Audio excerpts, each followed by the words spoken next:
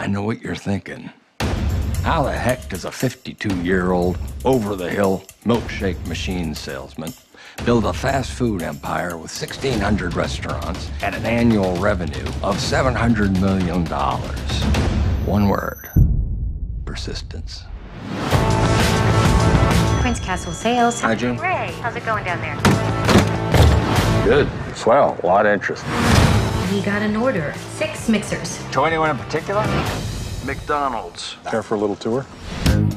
We wanted something different, and that's when my brother here comes up with one of his brilliant ideas. Orders ready in 30 seconds, not 30 minutes. Unique, original. There's nothing like this. It's revolutionary. It's exactly what it is. It's revolutionary. What is that? The Golden Arches. It's a way to make the place stand out. There should be McDonald's everywhere. Franchise the damn thing. Mr. Kroc. Franchise, franchise, franchise. McDonald's can be the new American church. And it ain't just open on Sundays, boys. I am flesh and I am bone. Rise up, ting ting like glitter and gold. How can we be almost out of capital? Did you mortgage our home? We could lose everything.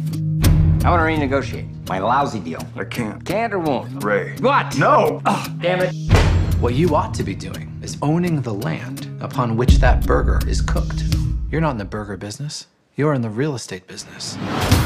Franchise Realty Corporation. It's its own separate company, which puts it outside your purview.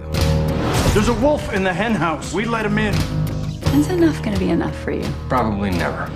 You are to stop this instant. I am through taking orders from you. You have a contract. Contracts are like hearts. They're made to be broken. Flesh and I am bone. Ting ting like glitter and gold. Business is war. It's dog eat dog, rat eat rat. I want to take the future. I want to win. The brothers are your business partners. Make it go away. I don't care what it takes. That glorious name, McDonald's. I had to have it. You don't have it. You sure about that?